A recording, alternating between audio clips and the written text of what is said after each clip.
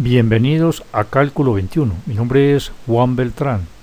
Álgebra de Baldor, signos de agrupación, supresión de signos de agrupación. Ejercicio 31, problema número 5. Simplificar suprimiendo los signos de agrupación y reduciendo términos semejantes.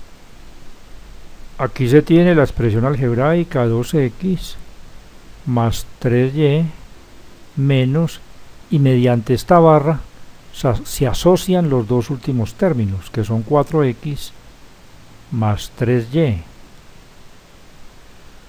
Antes de esta asociación hay un signo menos, de tal manera que al suprimir la barra, los signos de los términos dentro de la barra van a cambiar.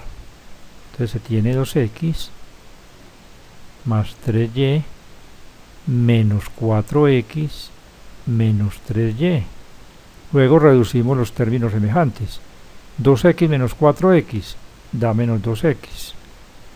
3 menos 3 da 0, se anula el término con la y.